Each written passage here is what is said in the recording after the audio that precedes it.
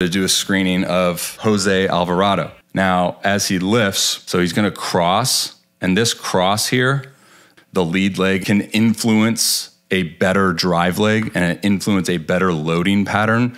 So if you cross and then descend, you can essentially feel that the lead leg, as you descend into full knee extension with the lead leg, you can feel as if it's neutral. Sometimes if you stay like in knee flexion as you descend with the lead leg, it can be a little bit more aggressive. I always kind of teach that for guys that are struggling with optimally loading the drive leg is like add a cross as you lift. So then as you descend, the foot will shoot out and stay in lead leg extension. So as you see, boom. Like this to me, as the hands are, are separated, is a superior picture of what loading the drive leg looks like. So you have neutral lead leg, you have the drive leg being loaded. I don't care about quad dominant or hip hinge, to be completely honest. So then you have the glove side stable, which is going to influence the trunk to be neutral. Hands are out, and everything looks good. Okay. Now take a look at essentially how he's using the slope as he descends from his leg lift, right? If we looked at the belt line and where he started at the peak of his leg lift, we can see that he's going to be continuously sinking to match the angle of the slope. This is going to allow him to maximize his acceleration down the slope maximize his energy as he plants into his lead foot. Right? And this is where you create all that that separation. And if you really just look at it, like the simplicity of why guys throw 100 is basically the amount of retraction their elbow is at full anchor point. Now, obviously, that's way easier said than done, but there's things that I'm, I'm referring to here that I think are a direct influence to that. So you can see how the loading of the drive leg is, is superior. His posture and his alignment are very, very good.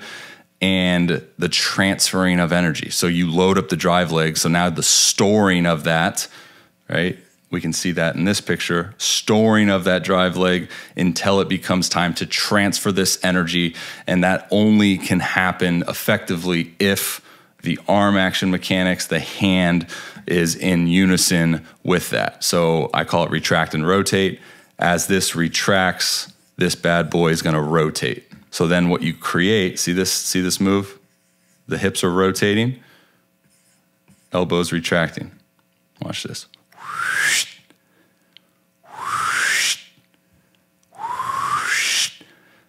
And to me, that's a byproduct of lead leg being neutral, storing up, loading, uh, sorry, loading the drive leg as optimally as possible, which is then going to influence the transferring of that as optimally as possible. And then boom, you anchor down and you have all of this energy that's available for you as you then complete rotation, pulls the trunk through, pulls the arm through.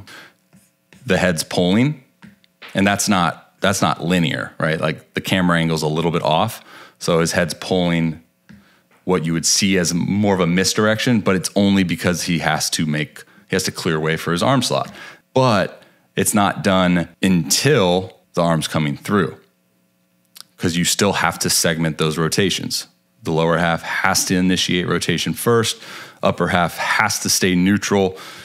And then as you anchor down, you release all of this energy buildup and then boom. Trunk's gonna tilt, clear way for the arm. Arm's gonna free flow into that slot and it's gonna decelerate all the way through this right here. Planar rotation. And you can see in the open side, I know that scoreboard's in the way, but plants in a little bit of knee flexion. Pelvis rotates over the femur. Boom good lead leg block. Left-handed pitcher for the Phillies throws a zillion miles an hour. I'm saying all this like it's freaking easy. It's not. Hey guys, thanks for watching that video. Robby Row here. If you are interested in learning more about pitch mechanics, I put together an ebook. I'll provide a link right here for you to click to check it out. Everything I know about pitch mechanics, I put it down on an electronic book. Hashtag 2023.